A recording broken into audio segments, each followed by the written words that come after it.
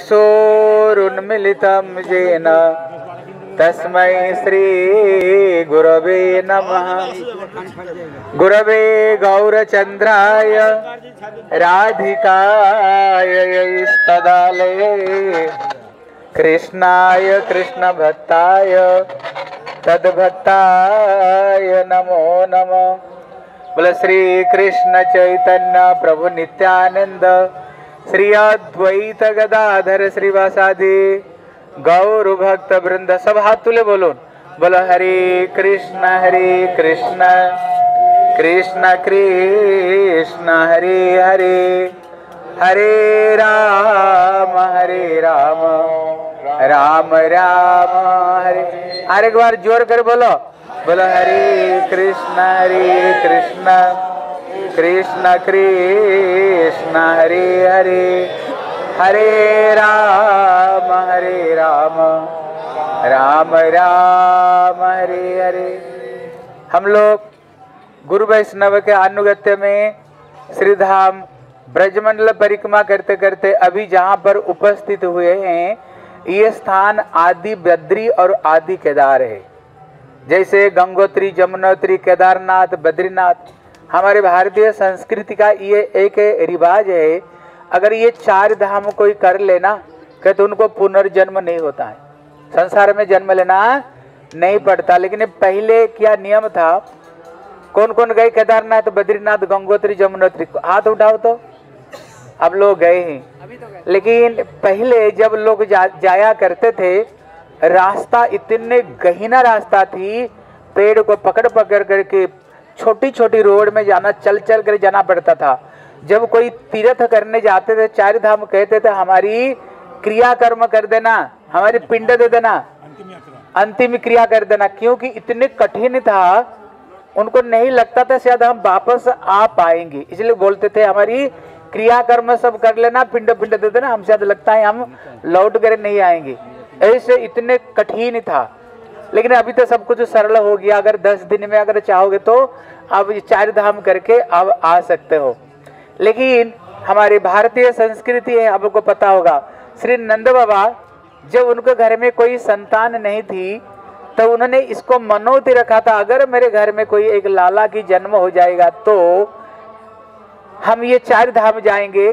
केदारनाथ, बद्रीनाथ, गंगोत्री जमुनोत्री लक्ष्मण झूला और मान देव सरोवर और मान सरोवर, इस सब के सब हम दर्शन करने के लिए जाएँगे। पृथ्वी के सारे तीर्थ हम भ्रमण करेंगे। अभी घर में कृष्ण जन्म हो गए, घर में गोपाल जन्म हो गया। जब कृष्ण थोड़ी सी बड़े हुए, इतने में नंद बाबा कृष्ण को बोले बोले, कन्हैया, मैंने अपना मन में मनोत रखा था। अगर तू जन्म हो जाओगे ना, सारे तीर्थ हम करने जाएँगे। अभी तो तुम जन्म हो गया। हमारी इच्छा है, ये सारे तीर्थ को हम दर्शन करने के लिए जाए। कृष्ण ने सोचा, देखो ये ब्रजवासी कितने भोले वाले, देखो। ये कितने भोले वाले ब्रजवासी हैं। इसलिए ब्रह्मा जी कहते हैं ना, बोले चिंता मणि प्रकर सदम सुकल्प वृक्ष, लख्यावृत सुरभिरभिपालयन्तम लक्ष्मी सहस्र शत संभ्रम मादि पुरुषम तमाम भजामी। कहते जो वृंदावन धाम ये चिंतामणि है। वृंदावन धाम की एक धूल में इतने शक्ति, एक पत्ते में इतने शक्ति, कितने बद्रीनाथ, केदारनाथ, गंगोत्री, ये जमुनोत्री को प्रकट कर सकता है। इसलिए रसखान कहते हैं, किरत सुता के पग पग में प्रयाग जहाँ, बोले केशव के कली कुंज कोटि कोटि काशी है। और गोपिनी की द्वार पे बसत है हरिद्वार। और जो बद्री केदारनाथ बसत दास दासी है इसलिए स्वर्ग अपवर्ग हम लेकर करेंगे क्या? जानते नहीं है कि हम श्री वृंदावन धाम की। इसलिए जो वृंदावन धाम ये दिव्य अपराकृत धाम श्री वृंदावन धाम है। अभी कृष्ण सोच रहे हैं ये ब्रजवासी देखो कितने भोले वाले हैं। ये कहा जाना चाह रहे हैं? जो गोपिनी के द्वार पे बसत है हरिद्वार। और बद्री केदारनाथ बसत दासत दासी है। लेकिन ये कहा? कभी जमुनत्री कौन? जमुना कौन है? बोले, मेरे पटरानी है। ये गंगा है कौन? कहाँ से निकली? भगवान की चरण से। भगवान के अंश की अंश की अंश। श्री बामन देव का चरण से ये कौन निकली गंगा? ये बद्री, बद्रीनाथ को, केदारनाथ कौन? अभी गए थे ना, केदारनाथ कौन है? श्री भोले बाबा, शंकर जी शंकर जी कौन है? बोले, वैष्णवा नाम यथा शंभो वो मेरे दास है, शंकर जी। मेरे दास है। कहती, ये बद्रीनाथ कौन है? बोले, मेरे अंश का अंश का अंश, ये बद्रीनाथ है। और जिनकी मैं स्वयं झूठन खाता हूँ, अगर नंद बाबा बोले, कन्हैया, लाला, मेरे खड़ाऊ थोड़ा ले आओगे? कन्हैया, ठुमक ठुमक करके चलते हैं। खड़ाऊ को हाथों में नहीं खड़ाऊ को सर पर रख करके लाते हैं। नंद बाबा बोलते, लाला, मेरे कितने अच्छे हैं। मैंने कहा, लाला को खड़ाऊ, ले आओ। हाथों में नहीं, लाला सर पर रख करके लाया है। नंद बाबा कितने प्रसन्न होते। हैं इसलिए कृष्ण कहते, भैया, क्या केदारनाथ, बद्रीनाथ जाएँगे? जहाँ यहाँ दास दास रूप में लौट पोट खा रहे ब्रज रज में, और कह रहे, केदारनाथ, बद्रीनाथ जाएँगे। बोले, बाबा, ये बद्रीनाथ, केदारनाथ, गंगोत्री जमुनोत्री तो यही बोले, कहाँ पर? बोले, बाबा, सब ब्रज में है। हमारी संस्कृति है ना, जैसे श्रवण कुमार ने अपना पिता माता को सारे तीर्थ कराया था। इसलिए हमारे भारतीय संस्कृति है, बच्चा जब बड़ा हो जाए ना, पूरा परिवार को पिता माता को सारे तीर्थ कराते हैं। बोले, पिताजी, मैं तो बड़ा हो गया हूँ, आपको चलो, सारे तीर्थ आपको घुमाऊँगा। तो उन्होंने यहीं पर सारे ब्रजवासियों को यहीं पर लेकर के आए। बोले, सबके सब हाथ जोड़ लो, सबके सब हाथ जोड़ लो, हाथ जोड़ करके ये सारे तीर्थ को स्मरण करो। हैं गंगोत्री जमुनोत्री केदारनाथ, सबके सब स्मरण करो। आँख बंद कर दो। आँख बंद करके स्मरण करो। जब उन्होंने आँख बंद करके स्मरण किया ना, बोले, आँख खोलो। जब उन्होंने आँख खोला ना, देखो सचमुच से यहाँ पर कौन है? श्री यहाँ पर श्री बद्रीनाथ है। यहाँ पर केदारनाथ। गंगोत्री थोड़ी सी इधर जाना, पर पाँच मिनट लगेगा। अगर चल करके जाएँगे तो पाँच मिनट लगेगा। ऊपर में खड़े हो गए तो वहाँ पर अभी हम उधर से आए, हम पहले आकर देखा। वहाँ पर स्पष्ट रूप में अलकानंदा, गंगोत्री जमुनोत्री लक्ष्मण झूला एक स्पष्ट रूप में दिखता है वहाँ पर। गणेश जी, वहाँ पर सब कुछ तीर्थ यहीं पर उन्होंने करवाया। देव सरोवर, जहाँ पर देवता लोगों की सभा होती है, सब कुछ उन्होंने यहीं पर, सारे ब्रजवासियों को उन्होंने यहीं पर कराया। इसका मतलब है, देखो अगर आप लोग ब्रज, अगर आप लोग ब्रज, ये चार धाम जाते हैं ना, केदारनाथ, बद्रीनाथ, गंगोत्री जमुनोत्री और अगर जाते लक्ष्मण झूला और देव सरोवर, अगर आप लोग अलकानंद, पता कितना पैसा लगता बोलो? बहुत पैसा खर्चा हो जाता। है? बहुत पैसा, कम से कम तो उतना कितना हज़ार रुपया खर्चा हो जाता। लेकिन देखो, फ्री में, है? फ्री में कितना पैसा दिया? वृंदावन से यहीं पर आए। बस थोड़ी पैसा से क्या हो गया? सौ रुपया, दो सौ रुपया, तीन सौ रुपया खर्चा किया और पृथ्वी का सारे सारे तीर्थ हो गया आप लोगों को। बोले, श्री बोले, वृंदावन बिहारी लाल की और सारे तीर्थ नहीं। कहते, यहाँ पर आने पर क्या होता है? ये जो बहुत जो कष्ट करके जाते हैं ना, केदारनाथ, बद्रीनाथ, वो मूल नहीं। कहते, आदि बद्री, आदि केदार। इसको कहते, आदि बद्री आदि केदार मतलब क्या है? कहते जैसे भगवान कृष्ण कौन है?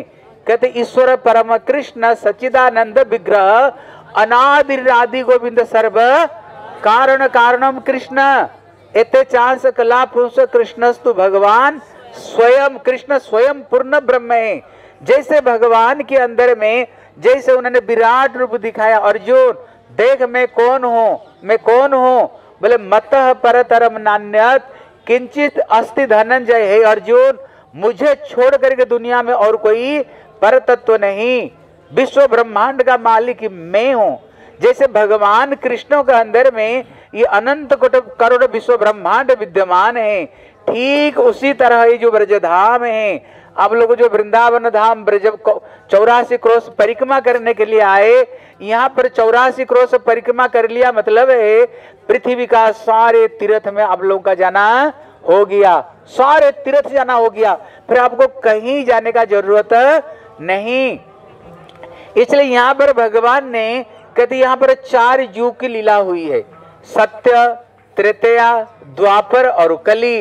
बोले, सत्य युग में कथा आती है सत्य युग में एक बलबल, एक राक्षस था, जिसका नाम था सहस्र कवची।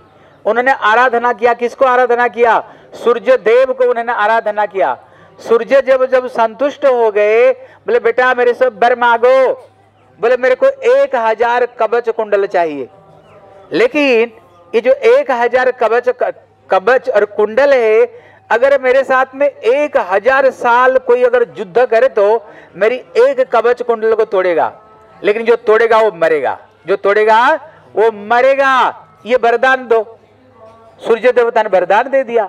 अभी तो उसको ऐसे लगा, मैं जगत में अजर अमर हो गया। क्योंकि एक हज़ार साल युद्ध करे, एक कवच कुंडल कोई काटेगा?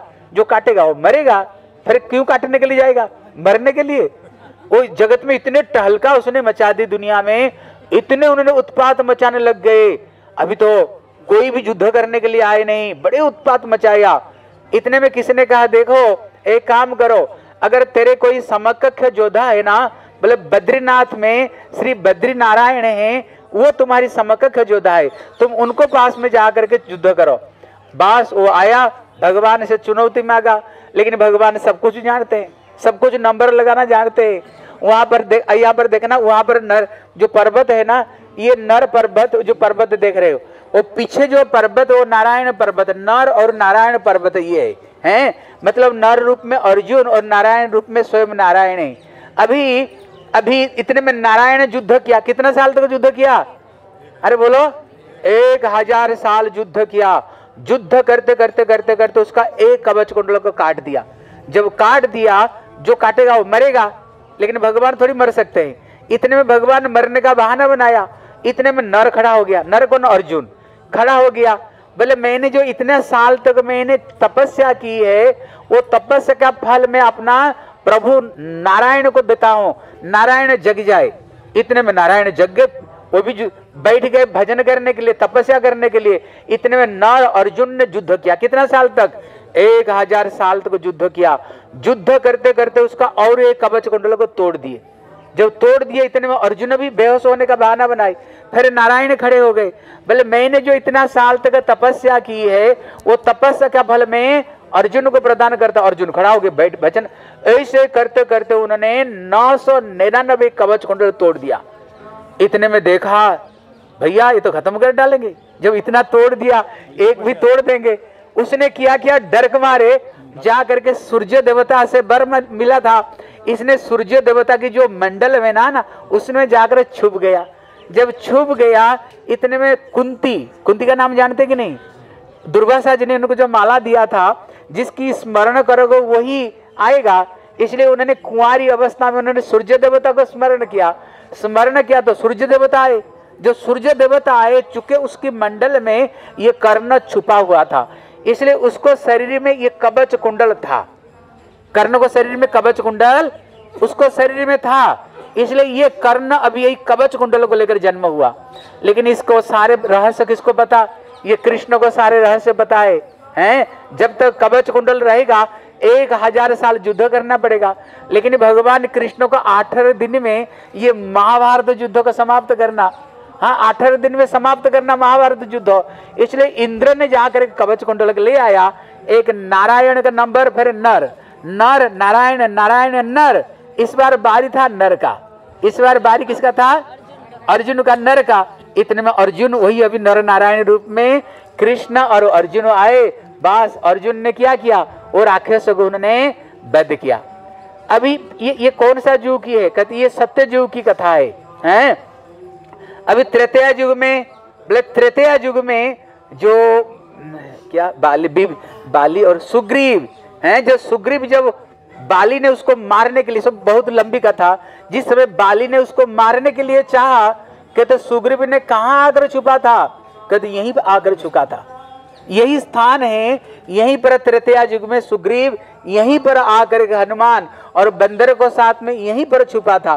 कहते तृतीया युग भी यही लीला है। कहते, द्वापर युग का लीला। कृष्ण आकर के उन्होंने बद्री नाथ और केदारनाथ को यहीं पर उन्होंने सारे ब्रजवासियों ने दर्शन किया। इसलिए यहाँ प्रश्न होता है, यहाँ पर भगवान क्यों तपस्या कर रहे बद्री नारायण रूप में भगवान क्यों तपस्या करते हैं? तपस्या कौन करता है? हम तपस्या करते हैं, जीव तपस्या करता है। लेकिन यहाँ भगवान क्यों तपस्या कर रहे कारण क्या? बोले, कारण है, बोले, एक समय श्री नारद जी उन्होंने इसे मरते जगत में आए और घर घर में गए। सबसे पूछा, भैया ठीक ठाक हो? ठीक ठाक हो, बोलो। सब मुंडी हिलाया। लेकिन अंदर की बात जो पूछा ना ठीक ठाक बोले, संसार दावा नल लीढ़ लोको, त्राणाय कारुण्य घन घन त्वाम। जब अंदर की बात पूछा ना, भैया, कोई राइट नहीं, सबके सब रंग है। हैं? कोई तन से दुखी, कोई मन से दुखी, कोई धन से दुखी, कोई परिवार से दुखी, कोई पति से दुखी, कोई पत्नी से दुखी, कोई सास से दुखी, कोई ननद दुखी दुखी कोई संसार में सुखी नहीं। कोई तन दुखी, कोई मन दुखी, कोई धन बिना रहत उदास, किसी को सुखी नहीं देखा। इतने में नारद जी पहुँचे बैकुंठ में। जब बैकुंठ में पहुँचे, वहाँ पर भगवान नारायण अनंत नाग ऊपर शयन किए हुए माँ लक्ष्मी चरण की सेवा कर रही थी और समस्त देवता लोग, है, शांतागारम, भुजग शयनम, भगवान को स्तुति कर रहे थे सबके सब। इतने में नारद जी बोले, प्रभु, ये दुनिया को आपने बनाया ना? बोले हाँ। बोले, सारा दुनिया को बनाया, अपने दुनिया दुखी दुखी हो रहे हैं। आप तो बैकुंठ में आनंद ले रहे हो। आनंद नाग ऊपर शयन करते हुए माँ लकी चरण की सेवा कर रहे, बड़े आनंद में मस्ती ले रहे हो। हैं? बोले, नारद जी, तुम क्या बताना चाहते हो? बोले, प्रभु जी, बोले, हरि विमुख कभी सुख नहीं बाबा भगवान से विमुख होकर के जगत में किसी को भी सुख नहीं मिला।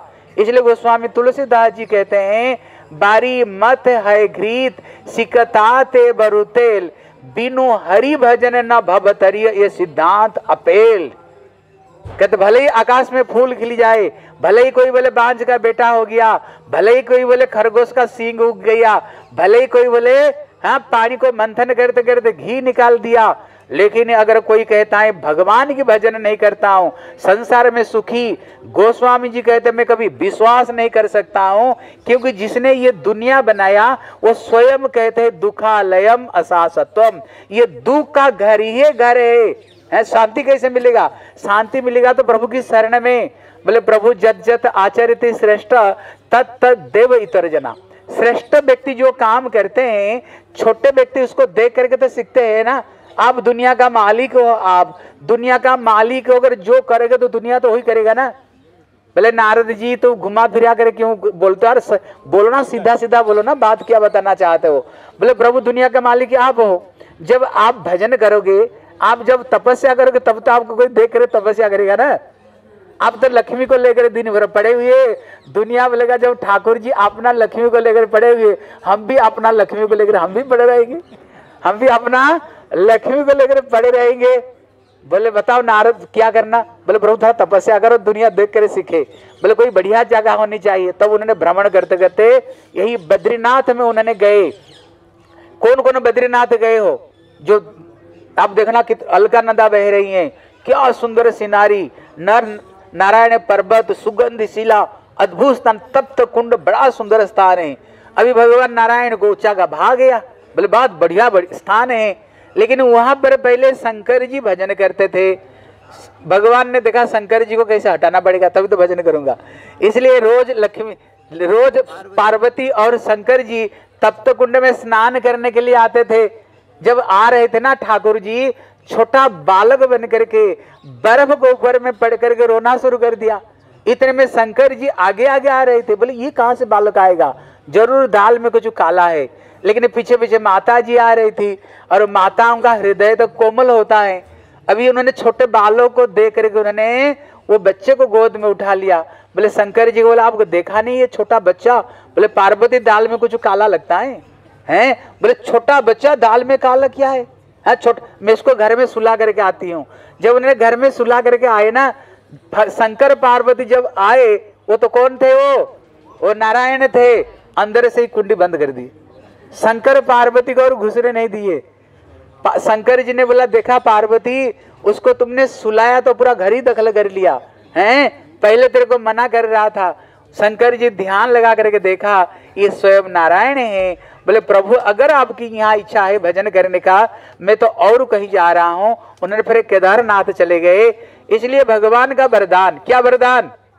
अगर कोई कष्ट करके, अगर ये बद्रीनाथ में आए, जो नर नारायण रूप में यहाँ उद्धव भी यहीं पर है, अगर उनको कोई दर्शन अगर एक बार कर लेना, भगवान कहते, मैं जो तपस्या करता हूँ तपस्या का छठवा भाग का फल मेरे को दर्शन मात्र से ही उसको प्राप्ति हो जाएगी।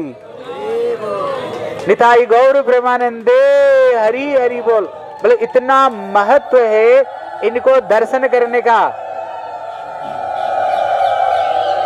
इतने महत्व है, केवल इनको जो दर्शन कर लेगा इतना महत्व है। करोड़ों करोड़ रुपया की आप लोगों ने सुकृति ले गए और बिना पैसा के दो चार सौ रुपया खर्चा करेगी और हमारे नारसिंह महाराज और हमारे श्री बन महाराज बिना पैसा में घुमा रहे हैं हम लोग। हाँ इसलिए इतने इतने महत्व है इनको दर्शन करने का। और यहीं पर ही श्री व्यास देव जी यहीं पर ही इसलिए गुरुदेव कहते हैं, जो बद्रीनाथ है कहते जहाँ पर उन्होंने भक्ति जोगे न सम्यक प्रणहित अमले, अपस्यम पुरुषम पूर्णं मायांच तत् अपाश्रय जब नारद जी भक्ति जोग समाधि को द्वारा समाधिस्थ हुए, समाधिस्थ होकर क्या देखा उन्होंने? बोले, अपस्यम पुरुषम पूर्णम। उनने पूर्ण पुरुष को दर्शन किया। बोले, पूर्ण पुरुष कौन है? बोले, भगवान कृष्ण। क्या कृष्ण को दर्शन किया? बोले, नहीं, उदाहरण देते हैं। जैसे कोई बोले, हमने चंद्रमा देखा।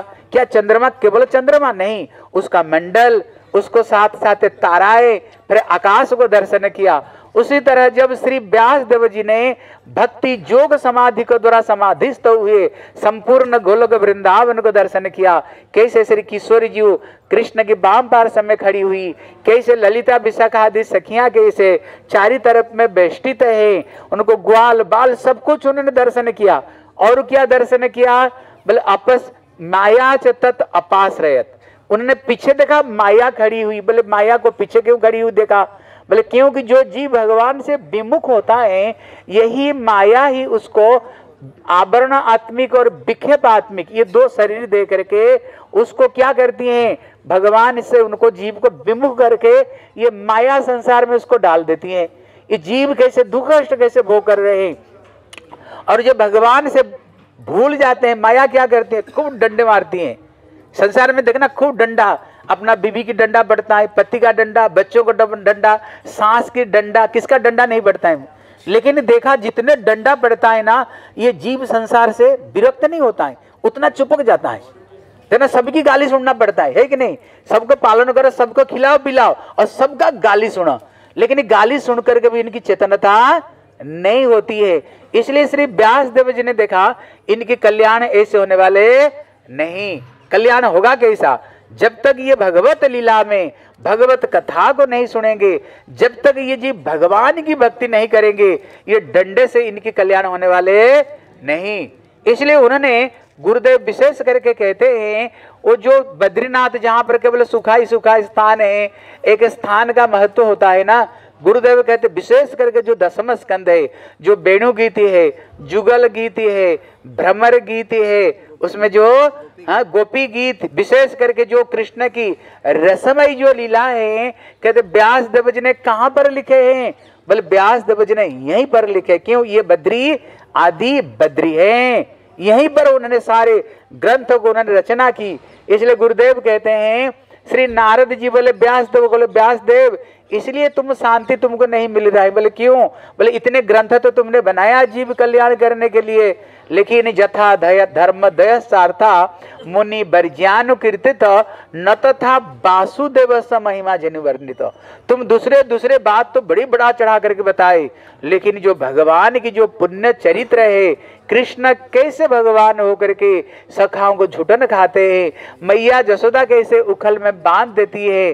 कैसे कृष्ण रास रचाते हैं? जहाँ पर स्वयं कृष्ण परम ब्रह्म परात पर तत्व होते हुए भी राधा रानी की चरण में अपना सर को झुका देते हैं, मयूर मुकुट को रख लेते हैं, बंसुरी रख लेते हैं और जहाँ गोपियों के पास में न पारे अहम निरबद्ध संजुजाम सुसाधु कृत्य विबुधाई हे ब्रज गोपियों, ब्रह्मा जैसे परमायु लेने पर भी मैं कभी तुम्हारी ऋणी से कभी उऋणी नहीं बन सकता हूँ। कि तुमने ये बात लिखी बोले नहीं, बोले इसीलिए तो शांति नहीं मिल रहा है। अगर तुम जीवन में शांति पाना चाहते हो, कैसे शांति मिलेगी? भगवान की दिव्य चरित्र, मधुराति मधुर कथाओं को तुम वर्णना करो, ये भागवत ग्रंथों को रचना करो, इसी से ही तुम्हारी कल्याण होगा। इसलिए विशेष करके व्यास देव जी ने यहीं पर बैठ करके उन्होंने क्या की? उन्होंने सुंदर ग्रंथों को, भागवत ग्रंथ रचना की और उन्होंने श्री सुखदेव गोस्वामी को उन्होंने पढ़ाया।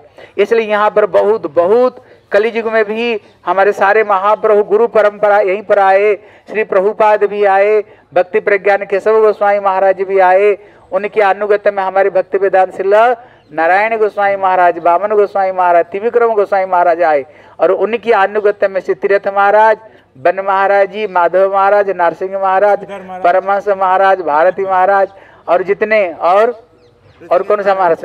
ऋषिकेश महाराज ये सब भी आए और इनको और सारे ब्रह्मचारी हम भी इनको पीछे पीछे आ गया। सबसे पहले पहुँच गए इसके लिए। हाँ, सबसे पहले हाँ, इसलिए सबसे इनका आशीर्वाद से इनके में भी आ गया। इसलिए हम लोग ये पवित्र स्थान पर आए हैं। यहाँ आने से सारे तीर्थ करने का फल मिलता है। इसलिए हम प्रार्थना करें गुरु वैष्णव के अनुगत में जैसे हम ये जीवन को भजन करते हुए किसी तरह से जीवन को बिता दे तभी हमारे जीवन धन्य हो जाएगा। हरि हरि बोले बद्री की। जय।